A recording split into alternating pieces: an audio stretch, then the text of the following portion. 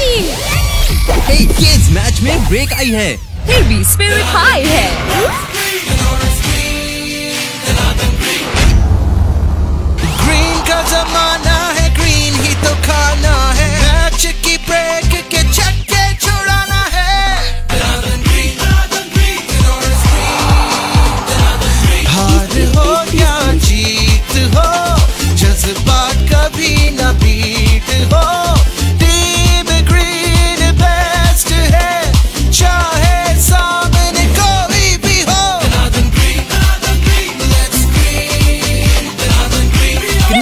noodles के साथ हार हो या जीत